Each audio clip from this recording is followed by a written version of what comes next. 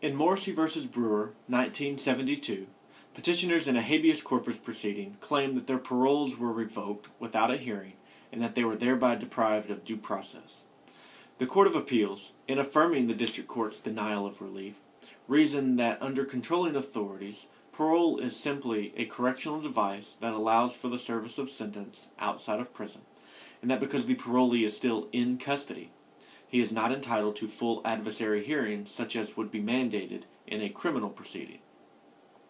On appeal, the United States Supreme Court held that a parolee's liberty involves significant values within the Due Process Clause, and termination of that liberty requires an informal hearing.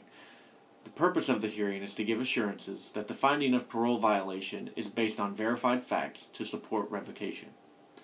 At the revocation hearing, which must be conducted reasonably soon after the parolee's arrest, the following due process rights are required. 1. Written notice of the claimed violations of parole. 2. Disclosure of evidence against the parolee. 3. Opportunity to be heard in person and to present witnesses or documentary evidence. 4.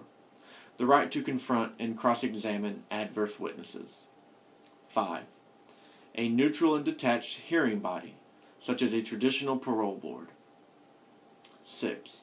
A written statement by the fact finders as to the evidence relied on and the reasons for revoking parole.